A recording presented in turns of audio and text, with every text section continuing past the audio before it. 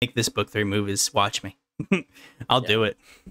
I'm not happy about this, but yes. So how it goes. Spider-Man recently launched for PC. Some interesting files were found inside of the game when it was cracked open. Reported on and verified by VGC, there are several files inside of the game referring to quote PSN account linked and quote PSN linking entitlements end quote. Now this could be a reference to a few possibilities mainly, but the prevailing theory currently is there's going to be a PC launcher for PlayStation. As PlayStation continues to move into the PC space, it would make sense for the game company to open its own PC launcher for users to potentially link their PSNs for trophies or potential cross buy, uh, or, or potentially cross buy, or maybe to remove the cut from Steam. And uh, this is a quick note: they have opened a PlayStation on PC portion to their website.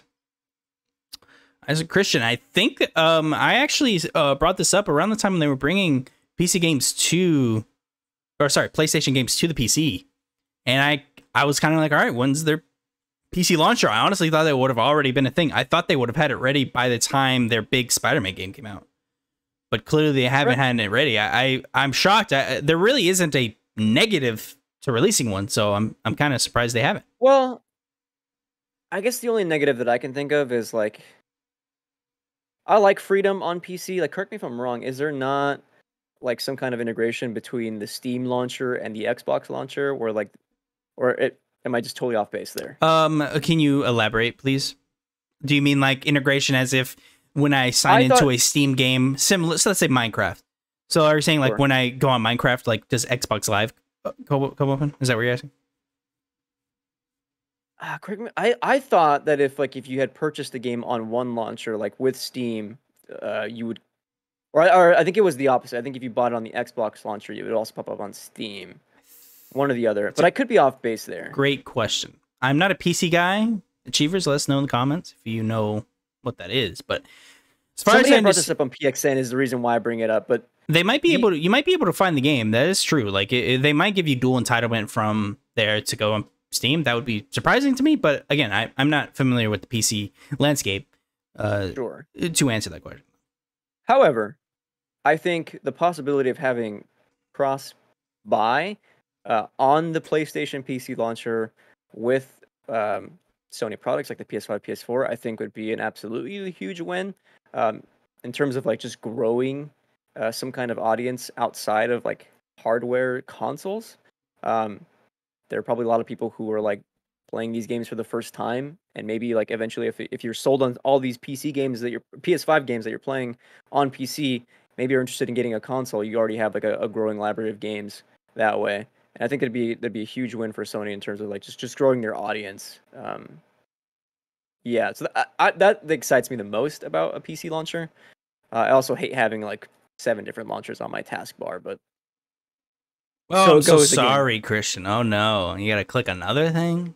It's annoying, especially with like the EA. You you open up the EA uh, launcher and then it like opens up Origin when you start a game. Like, what's the point of having one launcher if it just opens up the other one? Yeah, I get That thing it. is that's that's frustrating. No, I get it. I- I'm I'm joking around. I understand a little bit because I have gotten a nicer PC, so I do understand the the qualms that people do have when it's like multiple launchers.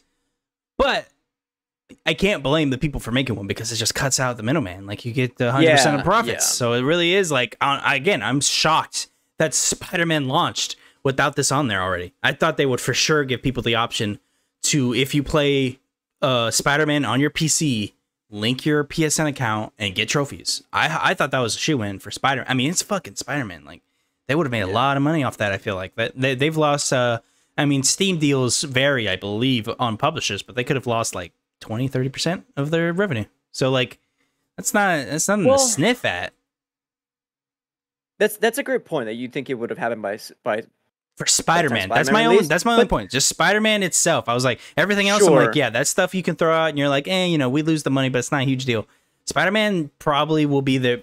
I mean, it might. It might. s- Fucking might sell. It won't. But there is a potential on PC. It could sell almost as much as fucking Ragnarok. Like it- this is a huge game. yeah. The thing is, like Spider Spider Man, Sony and PC stuff, like is like just Sony just operates kind of more slow going than than other companies. Like Yeah. that's just how they operate. Like look at Discord integration. Like that's been taking a long time. Maybe it's more complicated than we know. Um, but I, I would argue that Sony jumping into the PC market has been like a lot faster than we than we originally thought. I agree. Uh, the, I the agree. gap has been eh, uh, decreasing uh, as newer games come out, and I think the the biggest one that's going to uh, really emphasize this is uh, Last of Us Part One remake Mm. coming out. Uh, like that's not going to be day and date with PC, but like they said because, soon. They did But say soon. because like that game went gold on consoles a month and a week before the game actually shipped, points that like they're finishing up work on the PC uh, version, and that's going to come out. I'm I'm betting by the end of the month of.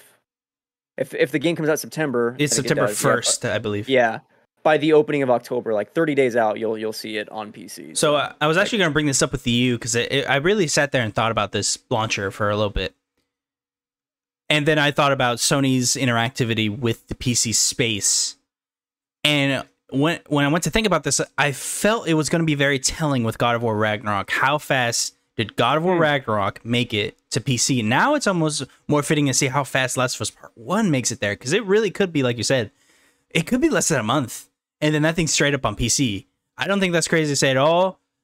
I will say, let's. I want to be definitive about this. I want to see how fast does God of War Ragnarok make it to PC? Is it a year?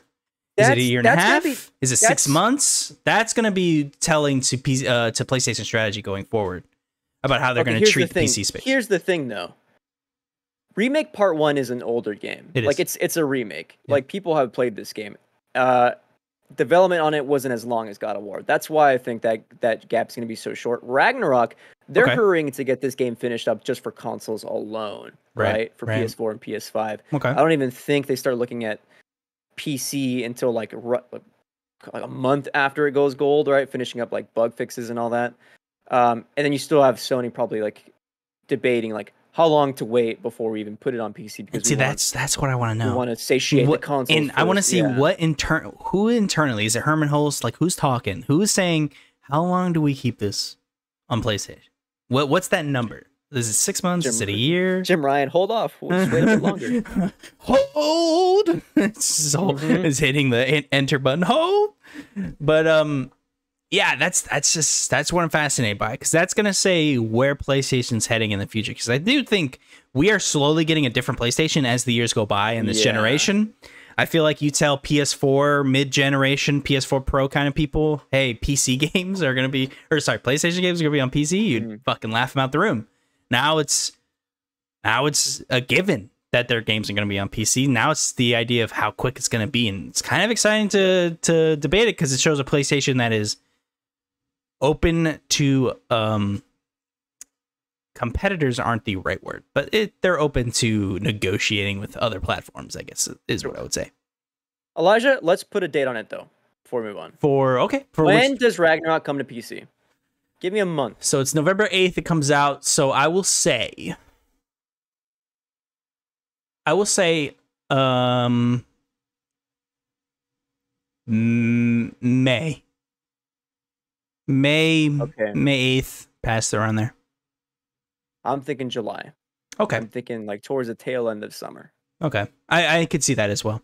May is a little early, I feel, but they seem like they're going to be aggressive with this. So I don't know. I don't know. It is. It, it, I I will be fascinated to see when this comes, for sure. Or maybe there's a world out there where during E3 time, and by the way, Ragnarok on PC. BT Dubs Ragnarok on PC. Christian, I don't know if you saw this. Um, there was a accusation put forward that uh, Call of Duty stole a skin from Doctor Disrespect.